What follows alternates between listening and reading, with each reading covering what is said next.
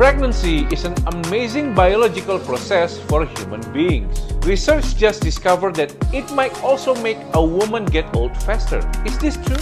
Recent research from Columbia University Mailman School of Public Health shows that getting pregnant might make women age biologically faster.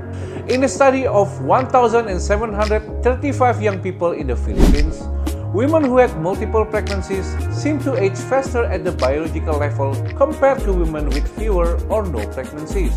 This faster aging wasn't seen in men, suggesting that pregnancy and possibly breastfeeding could be affecting women's bodies in a unique way.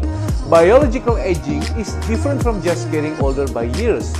It involves how our cells and DNA change over time. The study found this effect on women even after considering other factors like socioeconomic status, smoking, or genetics.